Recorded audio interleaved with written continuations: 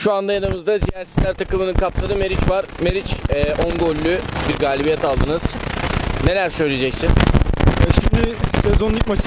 iki yeni transferimize çıktık. Kaan Kovancar ve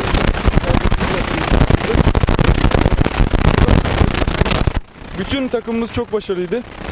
Onu ikilik iyi ezici bir skorla kazanmayı bildik.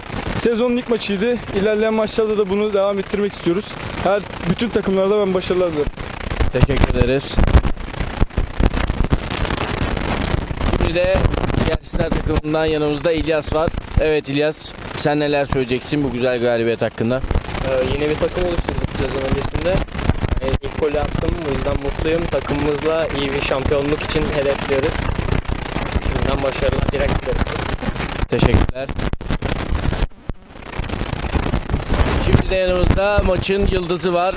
Kendisi bugün defans oynamasına rağmen gollerin büyük çoğunluğunu kendisi kaydetti.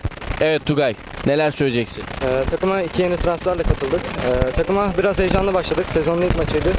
Ee, kazanmak istiyorduk tabii ki de her takım gibi. Ee, çok iyi mücadele ettik. Defans olsun sağ olsun.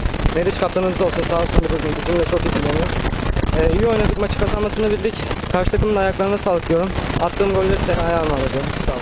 Teşekkür ederiz.